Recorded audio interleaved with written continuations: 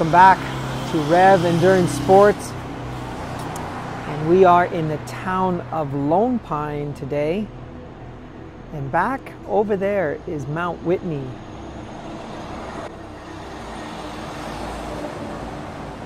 And so this is Lone Pine. It's at the base of two massive climbs.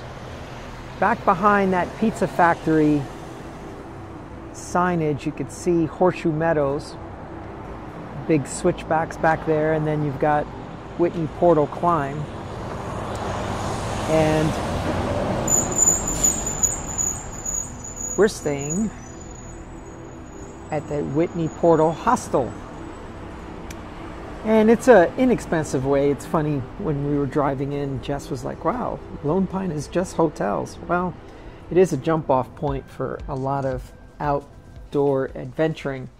And believe it or not, the hardest decision I've got to make at the moment is what I'm going to pack. Because in the valley, which is where we're at, and we're about 3,700 feet, the temperature here is currently 45 Fahrenheit. And even though that shows that the temperature is going to increase, well, we're actually going up in elevation. So we are going to go from our current elevation of 3,700, we're going to go up to 9,200 and then eventually 10,000 on a different climb. So, trying to decide what to take has been the biggest um, question of the day. So, I'm going to bring some toe warmers, toe covers, a set of leg warmers. I'm going to wear my Velocio um, thin wool jersey. I've got a wool base layer on, you can see in the mirror there. And then I've got a wool neck buff. I've got my Gore Tex jacket, gloves that I will be wearing while I'm riding. And then, and I did a uh, favorite piece of kit segment on this on the latest Rev show. And then these are like a wind block that fit over the top of this, top of these. And then I had other choices. I had, well, do I do a long sleeve? Do I do a vest? So I have them with me. Hey, Jess. Good morning. Hi. We're not in San Diego anymore. No, it's freaking it's it's going to be cold out here. So we've also got the spider bag that I'm trying to use now uh, to stuff all this in. So I have all these options and I'm still trying to figure out what I'm going to take. And Jess has a similar problem now. She she's going to be colder than I am, so she's she's actually going to go I have a another long sleeve jersey and then she's got a like a rain jacket. Do you think that's going to work? We should have filmed you trying to pack my bag. yeah, we were trying to stuff all that stuff in there. So the room is fairly small, but you know, you're you're here to ride bikes. You're not here to do, you know, uh, it's not a spa treatment type of place, right? So there's just enough room for your stuff and just enough room for your bikes in in the bathroom there. But um, yeah, so big adventure today for Jess. This is a, a massive climb of uh, well, Onion Valley is considered the hardest climb in California, and it's it's like 15 miles, and I think a good portion of it, about 12 miles or so, is eight and a half to nine percent. So it's going to be a steep one, and then the descent is really really fast, and it's got switchbacks, but with the, I mean, if it's 45 in a valley, it's probably going to be low 30s at the top. So 9,200 feet, so that's about 2,800 meters for those folks in the metric system. And then we're also going to do another climb that's a 10,000 foot climb. It's called Horseshoe Meadows. I showed the switchbacks out there. That one will take us over 3,000. So like 3,048 meters is 10,000 feet. So you ready, babe? Uh, yeah, yeah. We got to get moving. It's going to be noon by the time I get out of here. Yeah, so. yeah. Yeah, right. I'm ready. Let's do it.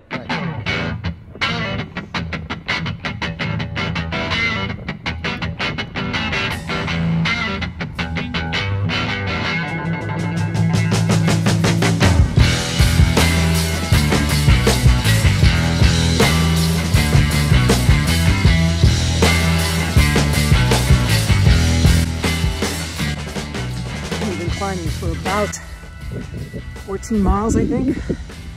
We got 1.3 left. We're at 8,700 foot elevation. So I believe we're getting near the height of the Col de Galibier, which is somewhere around there, 8,800, I think. And we still got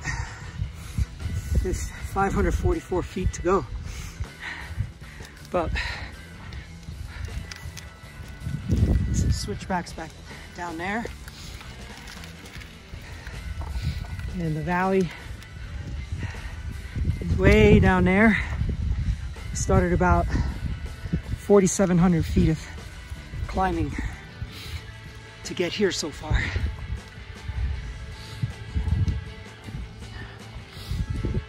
It's just truly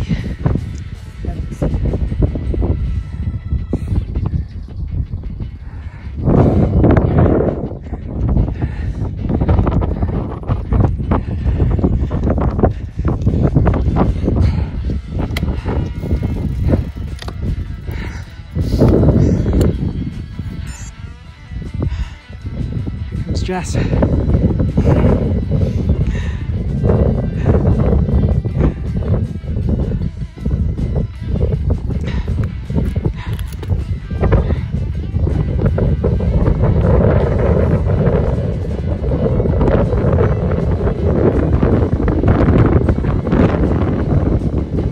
One point two to go, about 500 feet to go.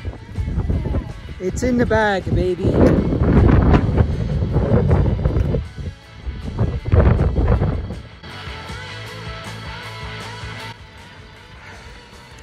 The Garmin seems to be fairly accurate because the summit of this is 9,200 and it reads 9160 and there's the summit. More like a trailhead though. Wow, that sign is really worn down. See it, Jess? The sign? Yeah, just it says Onion Valley elevation 9200. Yeah, we'll go, we'll circle back. So this is campgrounds up here at 9,200 foot elevation. We've been climbing for about 5,200 feet in about 14 miles. Really, really hard climb. Look how Look how truly epic the scenery is. There's no running water up here, so you gotta pack it in. Sometimes there will be a camper who will share some of their stuff with you because they know that you've climbed up here and it's 100 degree heat. But today,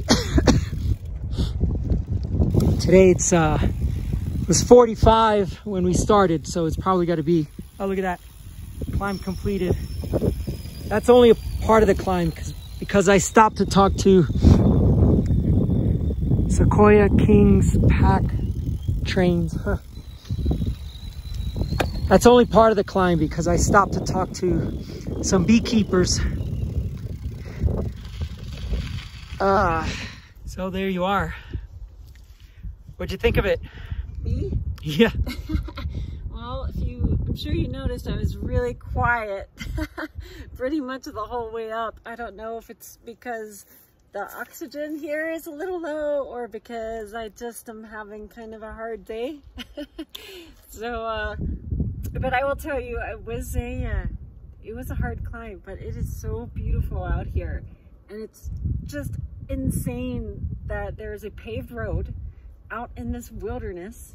And, um, well, George said it was a busy day today. I think we saw maybe, I don't know, maybe 10 cars. Yeah, 10, 10 cars in, um, 10 cars in, uh, you know, I don't know if that lens is clean. 10 cars doesn't seem like a very busy Yeah. day. uh, Two plus hours. what we're used to. So, Yeah, two plus yeah, hours it's just fantastic. And like where, from where I'm sitting, I, I think, is that like a water flow? Like water draining down the side Yeah. uh, of the Yeah. of the hill there. I mean, you can hear it.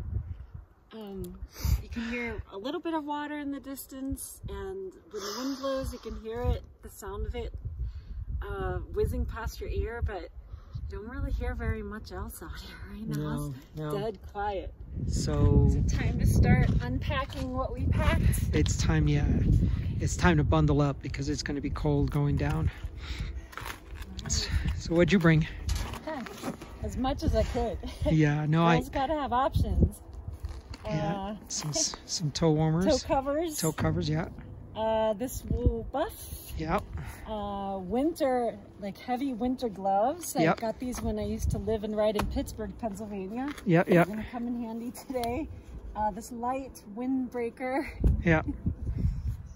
Uh, okay, a long sleeve jersey. This is actually George's, but um, because it's so thin, it packs down really well. I was able to fit it in here, so he's gonna let me borrow that under the windbreaker. And ooh, got a couple more things in here. oh wow! Some tights. got some nice thermal tights to keep my legs warm on the descent. And okay, Yeah, that's about is it. And then a beanie. Little well hats. Yeah, keep your head warm. This one I think has a little. Oh no, I thought it had a hole in the back for a ponytail to come out, but it doesn't. But that's okay. We'll make it work. All right, let's see what's in George's bag.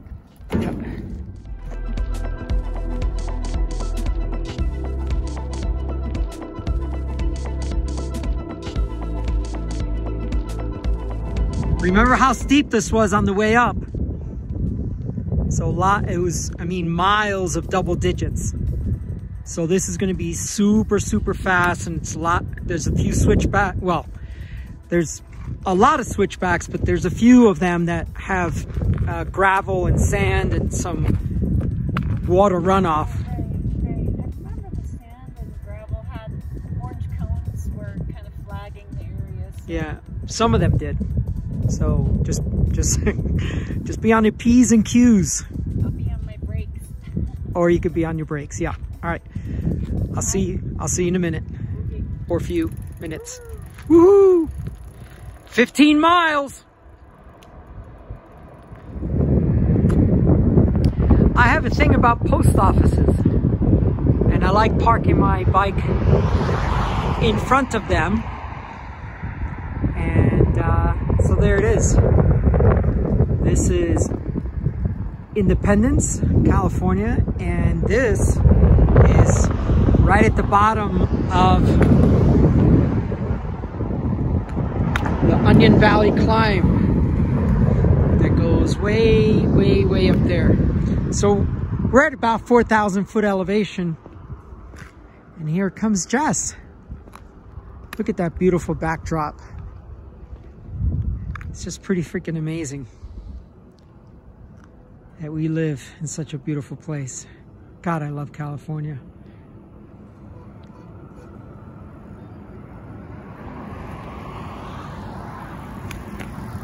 How'd it go? I don't think I've ever gone that long without having to pedal ever. Yeah. So it felt really weird then towards the bottom when I actually had to start turning my legs over again. I'm like, whoa. Yeah. I hope my legs still work. Yeah, it's, it was probably 20 something minutes of descending